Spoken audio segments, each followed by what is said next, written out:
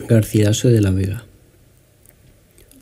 Garcilaso de la Vega nació probablemente en 1498, en Toledo, en una familia de larga tradición señorial y literaria, pues tenía parentesco con antepasados como el marqués de Santillana o Fernán Pérez de Guzmán.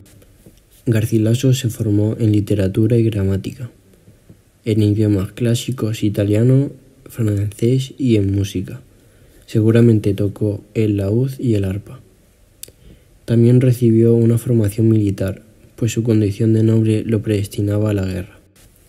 En 1520 comenzó a servir como continuo real de Carlos V, por lo que ya se iba acercando al círculo de la corte de monarca para convertirse al año siguiente en hombre de la Casa de Borgoña y después en caballero de la Orden de Santiago. En los siguientes años su prestigio aumenta y el rey le designa ya tareas de confianza. En la década de 1520 traba una amistad política con el duque de Alba y otra amistad literaria con el poeta Juan Boscán, junto con el cual iba a revolucionar la poesía castellana. Durante esta época aumentan sus implicaciones militares, participando en la Guerra de las Comunidades de Castilla, luchando en el bando del rey.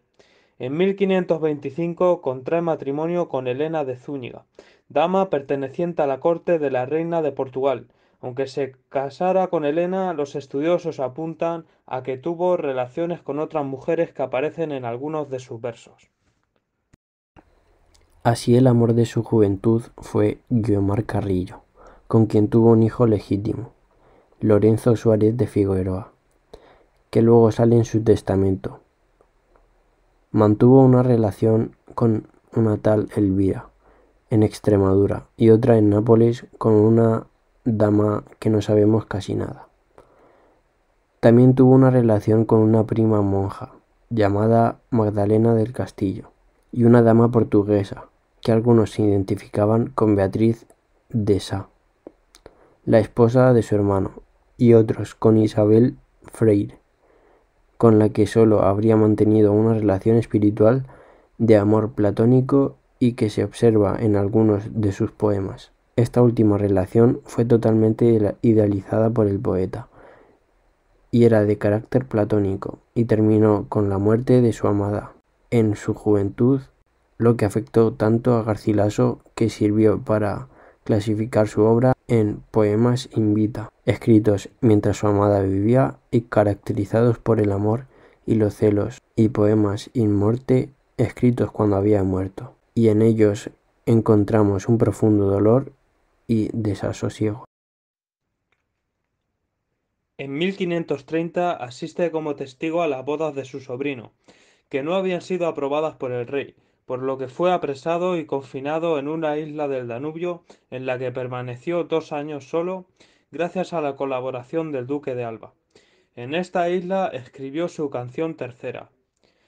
Tras esto se asentó en Nápoles y en 1535 participó en la recuperación de Túnez a Barbarroja y acto seguido participó en la guerra del emperador contra Francisco I de Francia. En 1536 murió por el impacto de una roca que le derribó mientras escalaba la fortaleza de Lemuy sin protección. La obra de Garcilaso es breve. Se compone de 40 sonetos, una oda, dos elegías, tres églogas, una epístola y ocho coplas castellanas. En latín escribió tres odas y un epigrama. Garcilaso comenzó realizando composiciones cancioneriles, pero en 1526 su poesía dio un giro de 360 grados tras mantener una conversación literaria con el autor Andrés Narajero. Este le propuso que trasladara al castellano los metros y las estrofas propias de la poesía italiana, como el soneto, el terceto, la estancia y la octava real, entre otras. En estas estrofas los versos suelen ser endecasílabos y se asentarán en la poesía española. A partir de esto comienza la poesía italianizante de Boscán y Garcilaso, que marcará el futuro de la lírica castellana. También fue influido por autores como Petrarca, cuya presencia se nota en toda su obra, sobre todo en sus sonetos y églogas. También se sirvió de la Arcadia de Anázaro y de las bucólicas de Virgilio como modelo para recrear el mundo idealizado de los pastores y sus amores en sus églogas. Su poesía también se caracteriza por su clasicismo, haciendo referencia en algunas de sus obras a la mitología grecorromana. En sus églogas observamos el enmascaramiento de los personajes de la corte con ropajes de pastores. Por ejemplo, Galatea se identifica con su amor platónico, Isabel de Freire o Beatriz de Sá.